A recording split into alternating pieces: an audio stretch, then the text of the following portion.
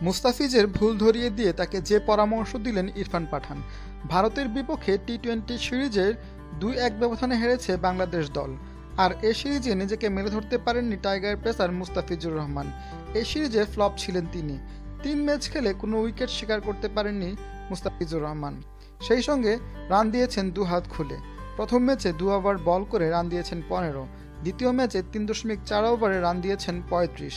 আর শেষ ম্যাচে চার ওভার বল করে রান দিয়েছেন বিয়াল্লিশ। তার এমন পারফরমেন্স হতাশ করেছে বাংলাদেশ দলকে।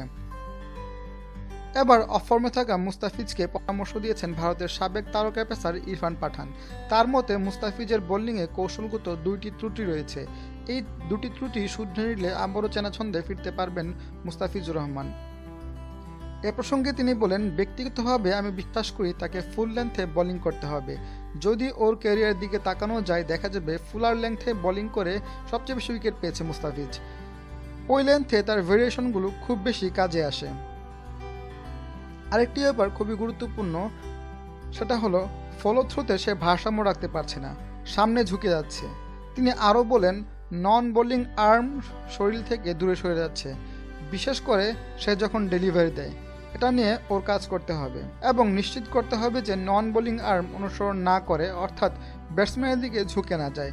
যদি ও এটা করতে পারে বোলিংয়ে নিয়ন্ত্রণ আরও বেশি আনতে পারবে। এটা গতির বিষয় নয় বিষয়টা হলো সঠিক জায়গায় বল ফেলার।